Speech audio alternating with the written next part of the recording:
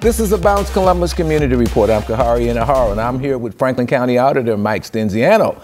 And we're talking about dogs, more specifically dog licenses. How you doing, man? I'm doing wonderful. It's always Great good to to see see you. Tell me about it. now. It's time to get my dog license renewed. In December 1st kicks off dog licensing season throughout the state of Ohio. So Okay. we're required under the revised code, if you're a dog owner, to renew your dog license every year. Mm-hmm. It's required that these dogs be licensed. And so December 1st uh, till the end of February traditionally, but we extended it to the end of March. Uh, I'm working with the county commissioners this year. How much are we talking in terms of license? So a base fee's $35, but if the dog's spayed or neutered, it's $18 annually. Mm-hmm. Residents can get a one, a three, or a lifetime uh, dog license as well, and as the longer the years, the more the fee would be. Doesn't have anything with age, does it? It doesn't have to do with age, and that's one of the big questions people ask: is, "Well, I never renew, uh, have never licensed my dog.